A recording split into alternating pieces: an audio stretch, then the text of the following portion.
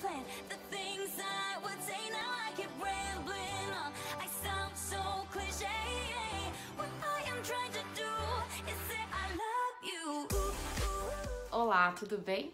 Hoje eu quero falar um pouco a respeito da nossa comunicação com os nossos filhos, para que a gente converse com eles de uma forma que eles possam, de fato, entender a mensagem que a gente quer passar para eles. Claro que melhorando essa comunicação, teremos assim cada vez menos comportamentos inadequados. Eu vou usar um exemplo clássico. É de um irmão batendo o outro, ou do filho batendo um amiguinho, ou de saber que ele agrediu alguém na escola. De alguma forma, esses conflitos estão sempre acontecendo e eu acredito que seja um fato bom para a gente isolar e falar um pouco a respeito disso. Como acontece aqui em casa algumas vezes, um acaba descendo a mão no outro, quando não é o Felipe no Gabriel, Gabriel no Felipe, e eu sempre tenho que lembrá-los que esse não é um comportamento aceitável. O grande problema é que muitas vezes os pais querem executar grandes discursos. Aí vai da lição de moral, desenvolve uma DR, fala que não é legal bater no seu irmão, que vocês são irmãos, que tem que se tratar com amor, que tem que ter carinho, respeito, admiração e blá, blá, blá, blá, blá. Você perdeu essa criança. Essa criança não tá mais te ouvindo, ela pode estar pensando no que ela vai brincar agora, no que ela vai assistir agora, o que, que ela vai comer agora, mas ela não está mais presente. Para o seu filho te escutar, qual seria o ideal? Que você fosse o mais objetiva possível. Você lidando com a situação com objetividade, a tendência é que fique claro a mensagem que você quer passar. Filho, bater não é aceitável. Você pode beijar, abraçar, fazer carinho. Bater a gente não aceita. Aqui em casa, uma frase que eu uso muito com o Felipe, assim. Você gosta que te batam? ele também não gosta de apanhar.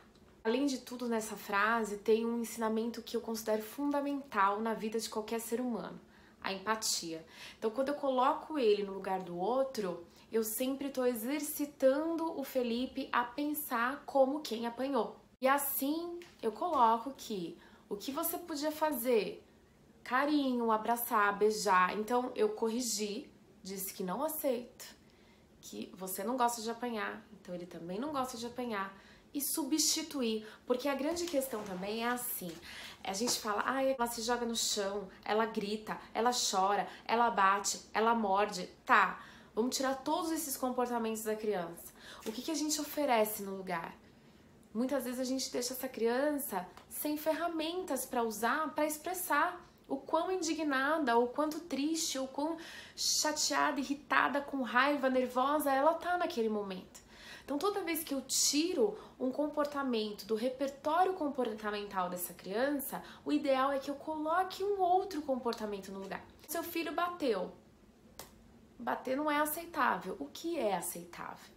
Você pode abraçar, você pode beijar, você pode fazer carinho. Eu já estou tirando um comportamento inaceitável e substituindo por um que eu espero dessa criança. Eu tô dando outras possibilidades para essa criança escolher dentro daquele repertório comportamental possível. Outra coisa que faz com que o diálogo entre você e o seu filho seja difícil, mal compreendido e muitas vezes não obedecido seria o fato de você não responder a pergunta que está sendo feita. Você já parou para pensar nisso? Eu vou dar um exemplo que aconteceu aqui em casa há uns dias atrás e que eu separei para falar para você um pouco, para você entender o que, que pode acontecer no nosso dia a dia quando a gente não para para prestar atenção na nossa comunicação. O Felipe fica esperando chegar os sábados e domingos, então todas as vezes que ele acorda e que tá demorando um pouquinho pra gente começar a arrumá-lo, aí ele faz: Mamãe, é férias? E férias para ele é final de semana. Um dia desses, ele chegou para mim e falou assim: Mamãe, posso ficar em casa? Eu não quero ir pra escola. A minha resposta para ele, na hora, foi: Filho, como assim? A escola é tão importante. Além de tudo, a escola é muito legal. Eu amava ir para minha escola. E vira e mexe eu falo isso para ele. Eu amava ir para minha escola. Eu adorava porque eu via minhas amigas, porque eu podia conversar, porque eu podia brincar, porque eu aprendia coisas novas. Você não gosta de aprender coisas novas? Ah, mas eu quero ficar em casa.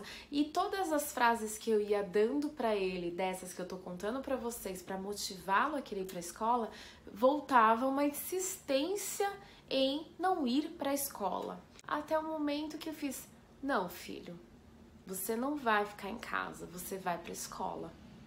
Ele ficou chateado. Eu falei: "O final de semana tá chegando, daqui a pouco o final de semana tá aí, mas hoje você vai para escola". E aí parou o questionamento. Eu falei, eu respondi, só agora eu respondi. Até então eu estava argumentando para que ele deduzisse que dentro daquelas minhas respostas continha nas letras miúdas do contrato, subentendido que a resposta seria não. Só que a criança, ela é muito concreta. A criança, aquilo que você fala para ela, é o que ela entende. A criança é muito literal ainda, ela não vai deduzindo as coisas. E a gente quer fazer com a criança igual a gente quer fazer com os maridos. A gente fala uma coisa esperando que eles entendam o que de fato a gente espera deles. E não é assim que funciona. Por isso, cuidado com a sua comunicação. Lembre-se sempre: a criança é literal. Responda aquilo que lhe foi perguntado e evite longas DRs aquilo que eu falei quando eu comecei o vídeo, que bateu e eu falei, ah, seu irmão tem que ter carinho, ah, lá, lá, lá. além de você perder a criança e não ter ali o efetivo que você gostaria, que é a mudança do comportamento, nessa hora o que você pode fazer é resolver. E aí, essas mensagens que você considera importantes ser passadas para o seu filho, ah, Milena, mas eu considero importante que ele perceba que o irmão dele vai ser amigo dele para sempre, que eu quero que eles sejam companheiros, que eu sou companheira dos meus irmãos e que eu quero isso para a vida deles e blá blá blá blá blá blá blá. É importante? Naquela hora não vai resolver? Não. Mas eu preciso passar essa mensagem? Preciso. Vai diluindo. Vai deixando aquilo mais leve, vai colocando mensagenzinhas ao longo do dia, em oportunidades que aparecem, mas não no momento do conflito. Percebe? É diferente. Na hora que você está resolvendo o conflito, você foca no problema. Depois, quando tá tudo bem, você vai introduzindo na cabeça do seu filho essas ideias que você de fato considera importantes. Antes de finalizar, eu quero deixar aqui um questionamento: como é que tá a sua comunicação com seu filho ou com a sua filha?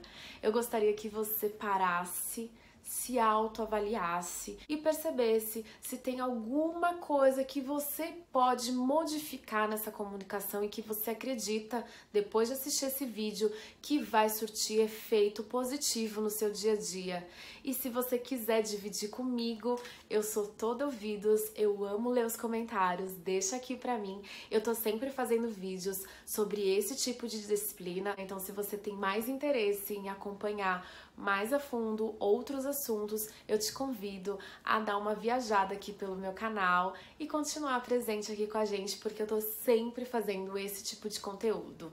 O vídeo de hoje é isso.